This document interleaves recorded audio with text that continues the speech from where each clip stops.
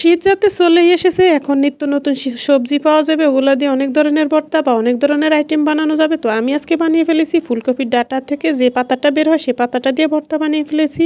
আসসালামু আলাইকুম, আপনারা সবাই কেমন আছেন? আলহামদুলিল্লাহ আমি অনেক ভালো আছি। তো আমি এখন ফুলকপির ডাটা থেকে পাতাটা সুন্দর করে পরিষ্কার করে নিয়ে নিয়েছি। এখন আমি পাতাটাকে ধুয়ে পরিষ্কার করে নিব।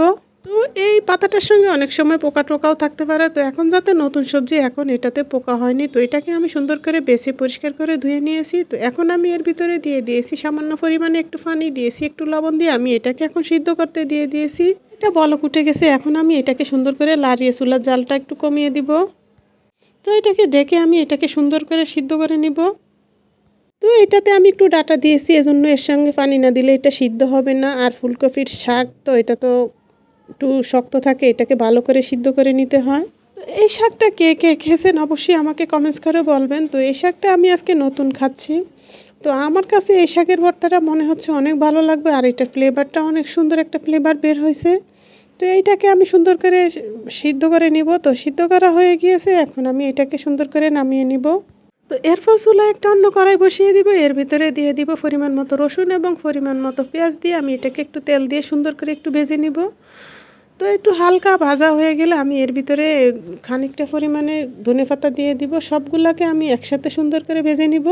তো ধনে পাতার গায়ের পানিটা একটু সুন্দর করে জড়িয়ে নিলে ভর্তাটা খেতে অনেক ভালো লাগে, আর ভর্তার ফ্লেভারটা অনেক সুন্দর আসে। আর ভর্তাটা কিছু হয় না, নষ্ট হয় না, কিছু হয় না, এটা অনেক দিন পর্যন্ত ফ্রিজে রেখে খাওয়া যায়।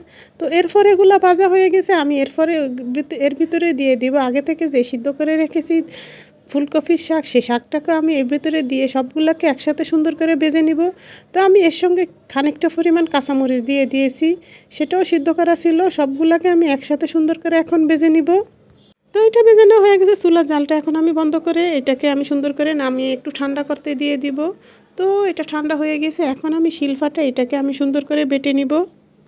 তো এটা বাড়তে একটু হালকা একটু ঝামেলা হলো, তো খেতে অনেক ভালো লাগে। তো ভর্তা করতে কষ্ট বেশি, কিন্তু খেতে অনেক ভালো লাগে আর ভর্তাটা খেতে সবাই পছন্দ করে, কিন্তু কেউ এই ভর্তাটা বানাতে চায় না। তো এটাকে সুন্দর করে আমি শিলফাটা ভালো করে বেটে নিব একেবারে।